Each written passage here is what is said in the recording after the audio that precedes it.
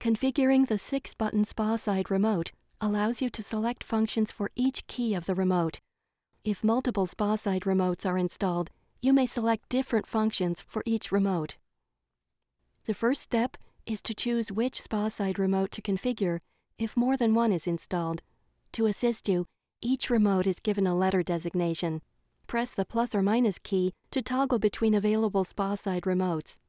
Press the right arrow key to begin configuration of a particular remote. In this example, you can determine the function of button 1 of remote B. Press the plus or minus key to toggle between the available options, and press the right arrow key to confirm and advance to the next button. The remaining buttons and remotes are configured in the same way.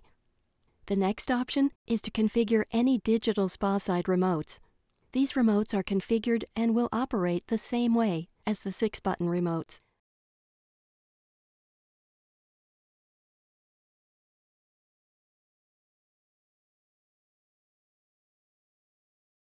You also have the option to select and set the set point temperature for the heater chosen.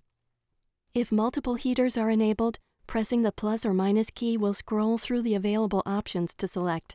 Press the right arrow key to move to the next option, which is Remote Menus. The Remote Menus feature allows you to prevent other remotes from making changes to the menus. If disabled by pressing the plus key, the remotes will only have the ability to select a function and turn it on or off.